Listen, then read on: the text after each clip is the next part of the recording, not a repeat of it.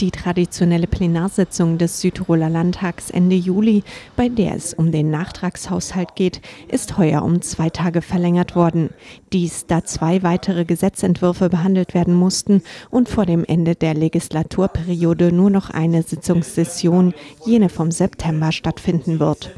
Die zusätzlich behandelten Gesetzentwürfe sind jener zu den Bestimmungen über den Abbau von mineralischen Rohstoffen und jener zur Regelung der Vergabe von Konzessionen für große Ableitungen von Gewässern zu hydroelektrischen Zwecken.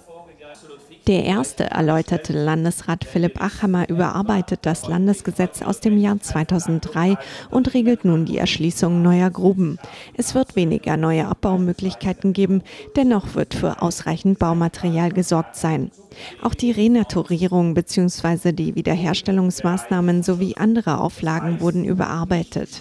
Der Gesetzentwurf ist mit 18 Ja, 3 Nein und 12 Enthaltungen genehmigt worden.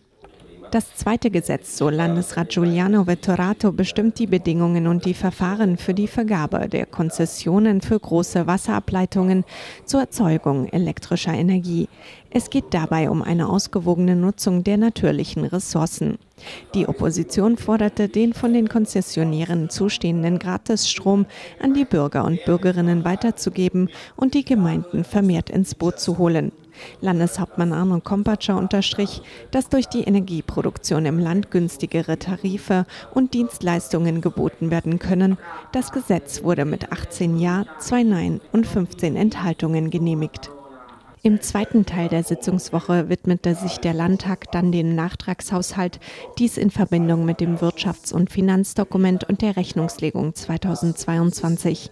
Es handelte sich um insgesamt drei Landesgesetzentwürfe.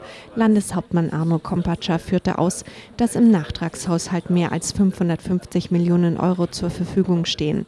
62,5 Millionen gehen an das Ressort Gesundheit und 40 Millionen an die örtlichen Körperschaften, 102 92 Millionen sind für den bereichsübergreifenden Kollektivvertrag 2023 vorgesehen, 28 Millionen für den Wohnungsbau, 42 Millionen für die Mobilität, 100 Millionen für das Ressort Landwirtschaft, Forstwirtschaft und Bevölkerungsschutz und 22 Millionen für die Umwelt. Mit dem Gesetz zum Nachtragshaushalt wurde auch die Möglichkeit von Betriebspraktika ab 14 Jahren in geschützten Bereichen eingeführt. Außerdem hätte damit auch eine Neuerung zur Supergis für im Ausland lebende bzw. arbeitende Südtiroler und Südtirolerinnen kommen sollen. Letztlich konnte jedoch keine Lösung dafür gefunden werden. Die allgemeine Rechnungslegung 2022 wurde mit 18 Ja und 16 Enthaltungen genehmigt. Die allgemeine konsolidierte Rechnungslegung für das Haushaltsjahr 2022 mit 17 Ja und 15 Enthaltungen, der Nachtragshaushalt mit 18 Ja, 13 Nein und 2 Enthaltungen.